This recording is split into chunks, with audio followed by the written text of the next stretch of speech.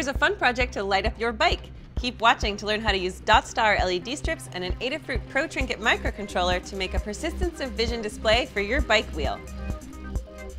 To get started, gather up your components and tools, which are all listed in the project tutorial. The link is in the description.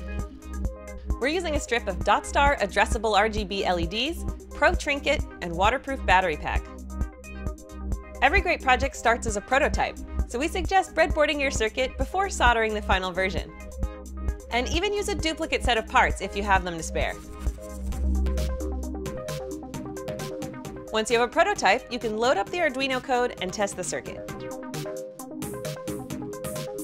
This project uses the same code as Phil B's Genesis Poi, and you can learn how to create your own custom images or use the sample images provided at the complete guide in the Adafruit Learning System.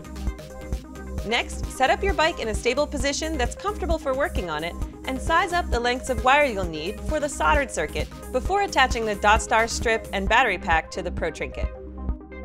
After testing the assembled circuit, we'll want to waterproof it before affixing it to the bike.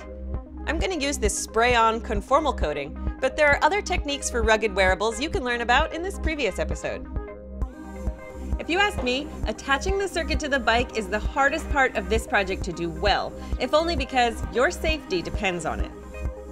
Use stainless steel zip ties for anchoring the heavy battery pack as close to the wheel hub as possible plastic ties work fine for the LEDs and trinket.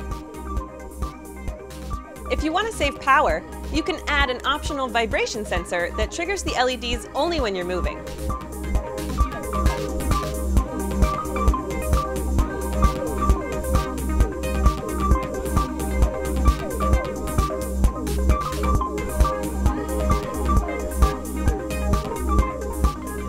Your electronic bike projects on our weekly show and tell hangout on Google+. And don't forget to subscribe for more project videos from Adafruit.